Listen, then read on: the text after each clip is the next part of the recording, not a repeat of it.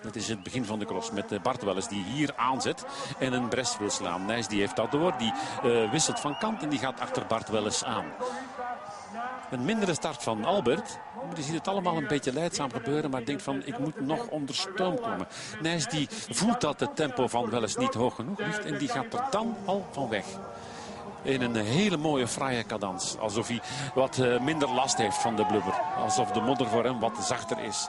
Paulus daar nog meer dan goed. Bart Welles die daar al voelt van... oh, als Paulus mij al voorbij steekt, dan heb ik een probleem. Dan ben ik uh, te snel gestart. En dan is Albert op komst. Albert pakweg in uh, ronde 2, vooral in ronde 3, met een heel goed intermezzo.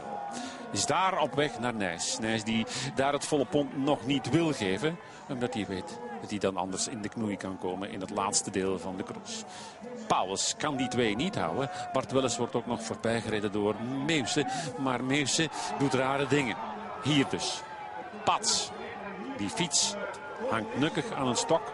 En Meeuwse gaat van zijn stok. En dan kleddernat helemaal voort. Dan zul je zeggen, ja, dat zijn ze allemaal. Maar niet op deze manier. Nice. Houdt Albert dan toch weer af doet het lekker alleen. Met die hagelwitte helm, die verrassend wit blijft. En dan misschien wel het beeld van de voorbije weken. Hé, jongens, ik heb een propere fiets nodig. Dit kan niet, hè? Ah nee, die mannen die staan aan de andere kant, aan de andere kant van de materiaalpost. Dus is hij even aan het wachten. En uh, dan wacht hij heel rustig om weer op te springen. Doet dat zelfs niet. En denkt dan, maar Albert, ik rij eraf, jong. En doet dat vervolgens. Dat was mooi.